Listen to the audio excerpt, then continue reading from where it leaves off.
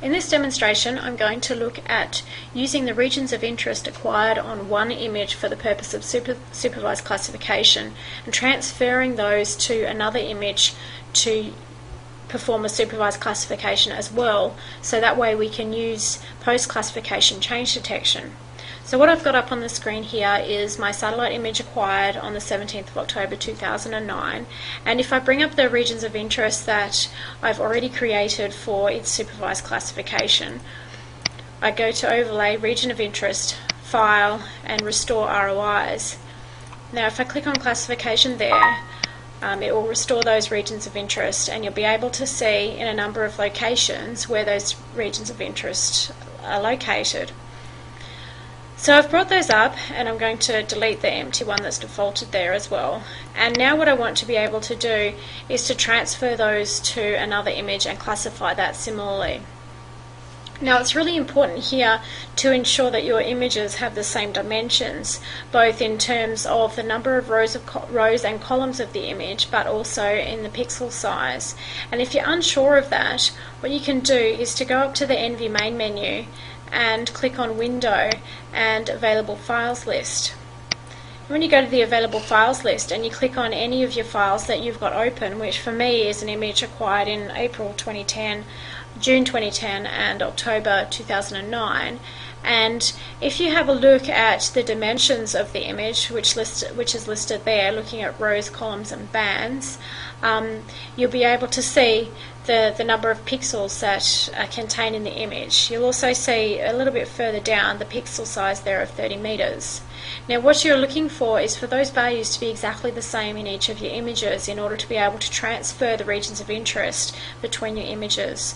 So if I click first of all on the 27th of, of April we've got those dimensions and if I click then on the 14th of June you'll see that those dimensions are exactly the same so they've remained unchanged and the same for October again exactly the same dimensions. Now this is really important. If those aren't the same, then your regions of interest won't overlay your image.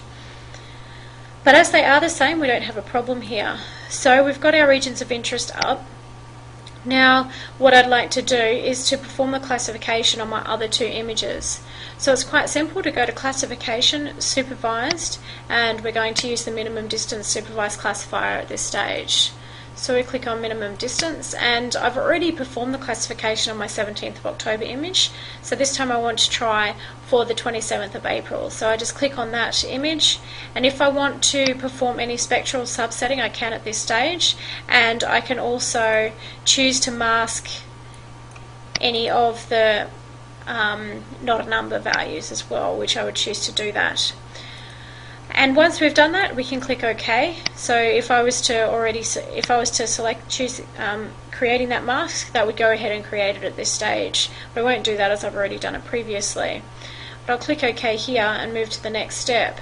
Um, what I want to do is is select all the classes here so I can select individual ones that I'm going to use for the classification or I can click on the select all items button which will choose all of them for me going to leave all the defaults the same there and I'll um, output both the, the result file of my classification, I can also output the rule image. And remembering also that you can choose to, to preview your classification using the preview button down the bottom and then click OK when that's complete. And once you've run that, you can then go through and run the exact same process on the 14th of June image.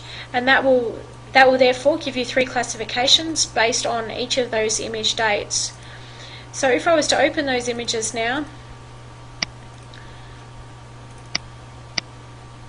we'll go through and open the classification for the 27th of April and holding the control key, also the the 17th of October and my 14th of June classification there.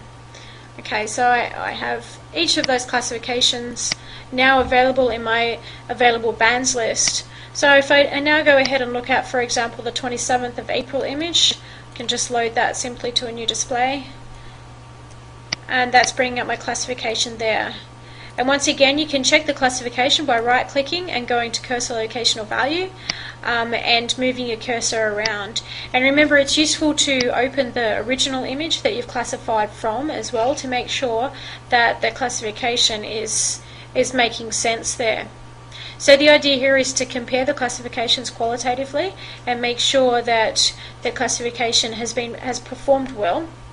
And if not, you might need to go back in and redefine your regions of interest. The final step there that we'll go through then is just to perform a, a, smoothing operation on those images so that they don't look quite so speckled, I guess. Um, to do that, we simply go to classification, post classification, and majority or minority analysis. Input the individual file, so for example, I might put in the 27th of April file and click OK. And I'd like to smooth all of those classes, so again, I can select all items there. There's no, no need to do so for the unclassified though. If we change that to a kernel size of 5 by 5 so that it's pro providing a decent level of smoothing but not too much and keep that on majority and again we'll enter the output file name there. So once I've run that I can then open the image file and if we look at the output file there I'm just loading this to a new display